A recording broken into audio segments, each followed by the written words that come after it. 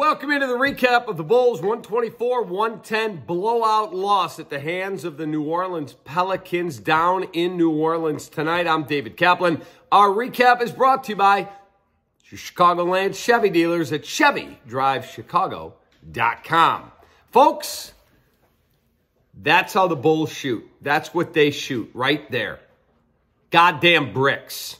That's what they are. Bunch of bricklayers. There's something going on that is not right. Something is not smell right about what's going on with this club, and that's a fact. They got time off. They get blown out by Denver. They get a couple more days off, and they get the living shit beaten out of them tonight by the New Orleans Pelicans, who played a tough game on national TV last night against the Memphis Grizzlies sat Zion Williamson, one of the stars of the NBA, didn't even dress for the freaking game tonight. And guess what?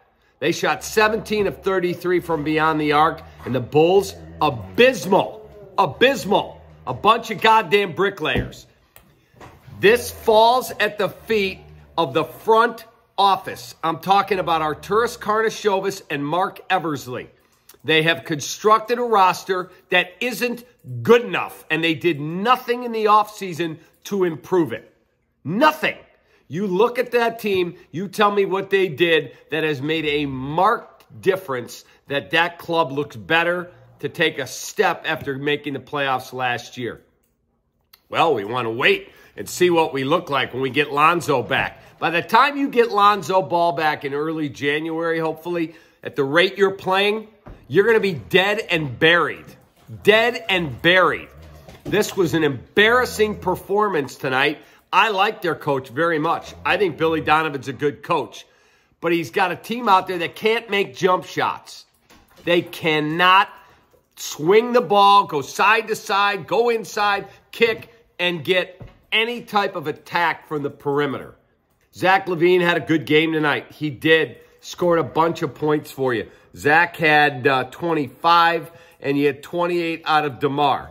But then look at the rest of the team. Vooch was fine, 14 and 10. You got one stinking assist out of Ayo Dosunmu. One. He's supposed to be your point guard right now with Lonzo Ball on the shelf. We're not seeing a guy play a lead guard role. That's a problem.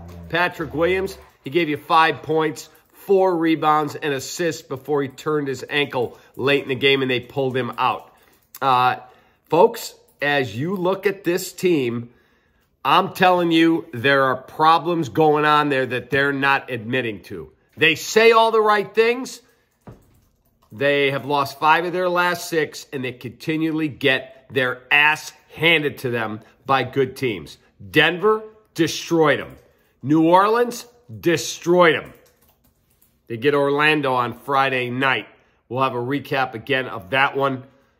But keep your eye on what's going on here because it falls at the feet of the front office. And they may have to start burning up the phones and change the mix in that room and get some freaking shooters in here. I'm talking to you, Arturas. It's on you. You're the head of basketball operations. You can't keep watching this garbage you're running out there and be satisfied. Or if you are, we got bigger problems. Take that.